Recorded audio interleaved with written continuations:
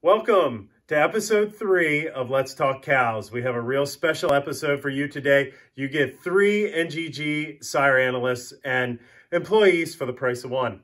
Today, you're gonna we're gonna hear from myself and CEO Dan Gilbert and U.S. Sales and Progeny Specialist Lauren Hendel, as all three of us were out and about looking at cows across the country. So now we're gonna start with CEO Dan Gilbert. Over to you, Dan. Thank you, Jake. Last week, I was able to visit four top farms in northeast Iowa and southeast Minnesota. I started at uh, Joe Lane Farm, the Shooties, and was able to see one of the few, if not only, polled doughboy daughter in the United States. This yearling heifer is extremely correct, very open in her rib with proper slope to the rump. She is being flushed to our Geordie people in an effort to make one of the early homozygous polled offspring available in the U.S. Other doughboys that I was uh, happy to see was a doughboy granddaughter of no other than Pronto Twilight at Hilltop Acres. This young cow has a bright future with a beautiful welded on udder, especially the fore udder, long and tight, and exceedingly correct throughout. Proper slope to the rump, great feet and legs and mobility, and a potential bull mother for the NGG program. Also at Hendel Farms, I was able to see an ultra fancy doughboy recently fresh.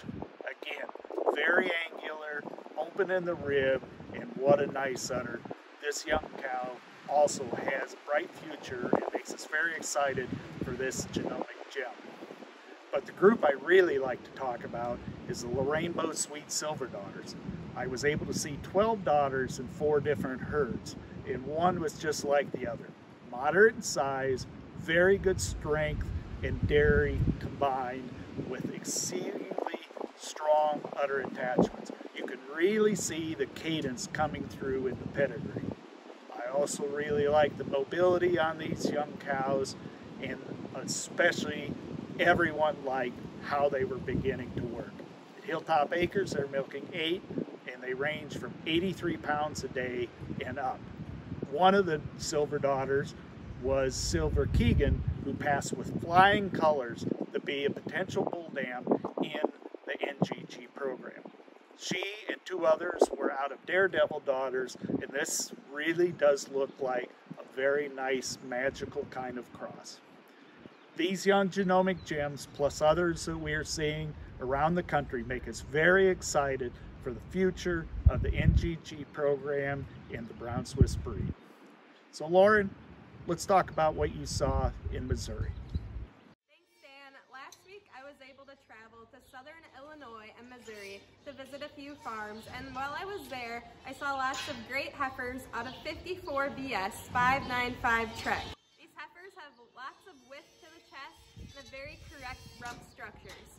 I've been really impressed with them so far and I'm looking forward to watching them continue to develop and calve in as time goes on.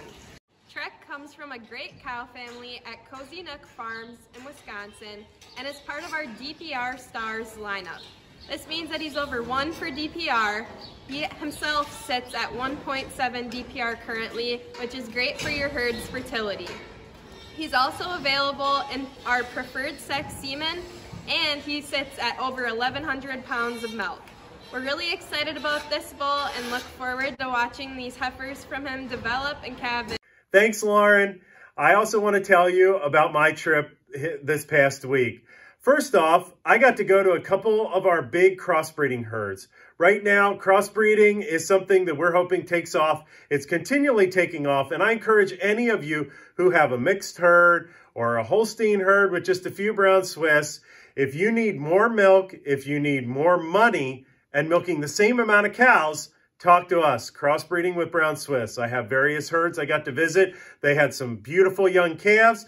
I even had my first herd that I started, had some breeding age heifers. Crossbreeding with Brown Swiss, the way forward for your profitability and the world's profitability.